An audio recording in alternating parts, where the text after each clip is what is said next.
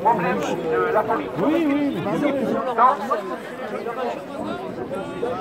La gilet jaune qui mort passé Alors, alors s'il vous plaît, on fait une minute de silence pour nos morts. Merci.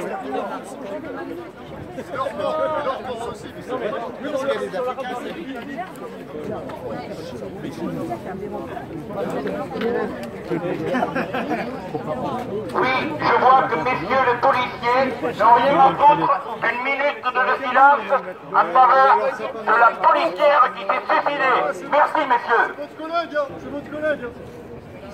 Le minimum, c'est de respecter. Démission à fond